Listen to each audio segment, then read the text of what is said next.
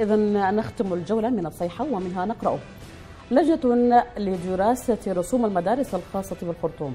وجه والي ولاية الخرطوم المكلف الفريق ركن أحمد عبدون بتكوين لجنة عاجلة لمراجعة رسوم التعليم الخاص والأجنبي. وقال لابد من وضع حل جذري للرسوم التي أرهقت أولياء أمور الطلاب. ووجه عبدون خلال اجتماع برؤساء القطاعات والشعب اتحاد المدارس الخاصة أمس بأن تضم اللجنة كفاءات تربوية كجهة محايدة بالإضافة إلى اتحاد المدارس الخاصة وممثلين لوزارة التربية والتعليم بالولاية. مشيرا إلى تلقي شكاوى من أولياء أمور بسبب الزيادة المضطردة لرسوم التعليم الخاص والأجنبي. داعيا تلك المدارس إلى مراعاة الظروف الاقتصادية للأسر موضحا الدور الكبير الذي تقوم به. فيما شكى ممثلي اتحاد المدارس الخاصة والأجنبية ارتفاع نفقات تشغيل المدارس مؤكدين. استعدادهم للتعاون مع اللجنة المكلفة. أستاذ محمد العام الدراسي انطلق له منذ ما يقارب الشهر يعني. وأولياء الأمور أساسا دفعوا الرسوم يعني. كيف أو برأيك تشكيل هذه اللجنة في هذا الزمان بعد قرابة الشهر يعني؟ هل أو مش هل يمكن أن تجاوز الزمن أساسا يعني. طيب هو مبدئيا يعني كتر خيره السيد الوالي في تشكيل اللجنه عمل اللجنة لكن الموضوع ده ما حيكون مفيد. أعتقد دي ذاتها قصة بتاعت حكومة يعني حكومة مدنية. أساسا. يعني المفروض بعد ده الموضوع ده هو موضوع الحكومة المدنية. يعني الناس تسرع إجراءات الترتيبات الانتقالية لنقل السلطة إلى حكومة مدنية. القصة إجراءاتها معقدة. نحن نتحدث عن سياسة كاملة لإصلاح النظام التعليمي. آه ودي بتتطلب من آه, آه، والحرية والتغيير وشركائهم في المجلس العسكري. وكل المهتمين والحادمين على مصلحة التعليم اللي هو وضع سياسات لإصلاح. نحن تحدثنا عن إصلاحات النظام المصرفي نحن محتاجين برضه إصلاح النظام التعليمي. إصلاح النظام التعليمي اللي هو بيتكلم عن سياسات وبعد ذلك نتكلم عن إجراءات وترتيبات وتطبيقات العملية. يعني أنت دولة الصرف بتاعها للتعليم أقل من 2% يعني بالتأكيد حينعكس على مستوى على مستوى الخدمات وينعكس على موضوع الرسوم وغيره. فعليه الموضوع باختصار يعني كتر خير وبارك الله فيكم. في كل دول العالم يتم دعم التعليم أستاذ محمد يعني بينما المدارس الخاصة وهو طبعا لا يمكن لأي دولة من الرسوم الحكومية. لا يمكن لدولة أن تنهض دون آه، استناد على تعليم. وليس الموضوع موضوع الرسوم. نحن نتكلم عن جودة المحتوى التعليمي نتكلم عن البيئة التعليمية. يعني هي الموضوع مو موضوع رسوم نحن بعد شوية حيجي الخريف وحنتحدث عن بنيتنا التحتيه بنية تحتية وفصول غير مهيئة وممكن يعني فصول لا قدر الله اوسر بتاع مدرسة يقع وغيره. لكن بشكل أساسي على الحكومة الانتقالية القادمة يعني إيجاد أو حتى الآن يعني مفترض يكونوا وجدوا آه، استراتيجية كاملة لتطوير العملية التعليمية في السودان. ودي عملية بتاخذ وقت آه، مربوطة بجوانب سياسية ومربوطة بجوانب اقتصادية. نحن نتحدث حتى الرؤية للتعامل مع التعليم على مستوى المحتوى حتى على مستوى التفاصيل الصغيرة المتعلقة بتهيئة البيئة المدرسية وغيرها. ودي ما زالت بتاخذ وقت. لكن بشكل أساسي أعتقد يمكن الاستفادة من الروح البسيطة الثورة في عملية البناء آه، من خلال تأهيل البيئة المدرسية.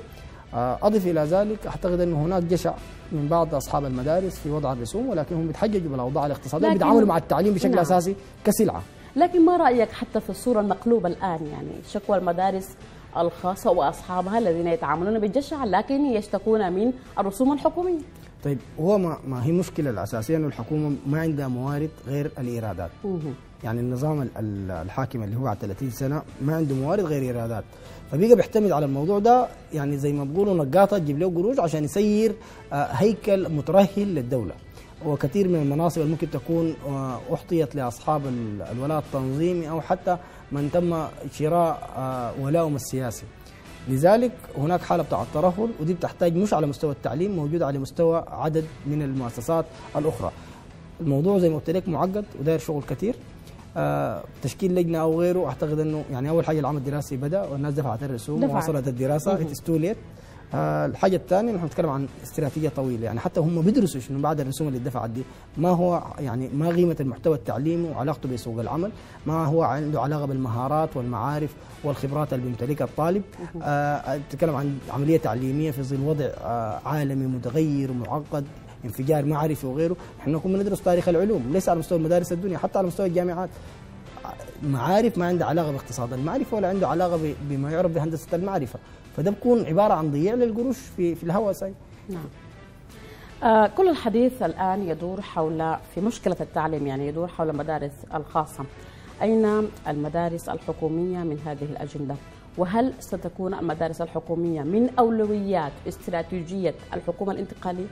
طيب هو مبدئيا المدارس الخاصة دي عرض لمرض. المرض الأساسي أنه المدارس الحكومية الأساسية جزء كبير منها يتباع والما يتباع ده حالة الدهورة.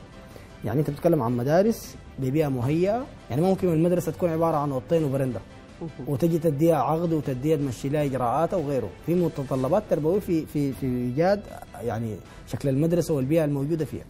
طيب المدارس الحكومية لو تم الإنفاق عليها بشكل جيد أعتقد إنه فيها مقومات هي تبقى الأفضل أفضل علاج. وبأقل من التكلفة بتاعت المدارس الخاصة. دي طبعا محتاجة يعني نتكلم عن عناصر البيئة التعليمية اللي هي على المستوى البيئة المدرسية. نتكلم عن المحتوى التعليمي وأهم من ده كله الأستاذ الاوضاع ال- ال- المادية للأساتذة والمعلمين حالة يرسى لها. ودي يعني يعني لا ده عنصر مهم جدا في المثلث اللي هو بتاع العملية التعليمية.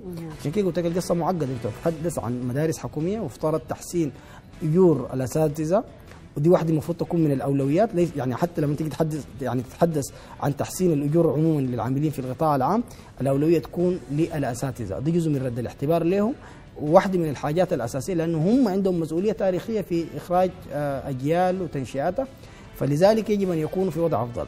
واحدة من النقاط الأساسية برضه بتصير ال- ال- السخرية إنه أنت لما تيجي تنظر في دليل القبول أقل نسبة بتاعت قبول هي اللي بتمشي لكليه التربية.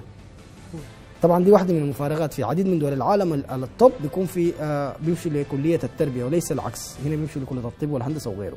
طبعا ده بيتطلب لإعادة النظر ووضع التعليم على على صدر الأولويات. ده بيكون مثلا اللي هو راتب الأستاذ يفترض يكون أعلى من راتب الطبيب أو طبيب راتب المهندس. فدي موضوع متطلب جدا الذي للترتيب. يعين لرياض الأطفال هو الأهم من الذي يعين حتى في الجامعات. بالتأكيد بالتأكيد لأنه أنت بتتكلم عن؟ المستقبل بتاعك المستقبل بتاعك في العملية التعليمية. وما في دولة في العالم بتنهض دون نظام تعليمي جيد. طبعا نفس الكلام بتاع التعليم بيطبق بشكل آخر على النظام الصحي وعلى بقية القطاعات يمكن أن الاخرى يتعافى الوضع في السودان بعد هذا الحال الواقف في مدى زمن قصير؟ نحلم بذلك حقيقة. أنا أؤمن بأن السودان آه، مقبل على خير كثير. استنادا مش الكلام أماني أو أحلام فقط استنادا على الموارد والإمكانيات الموجودة في السودان وعلى رأسها المورد البشري والإنسان السوداني.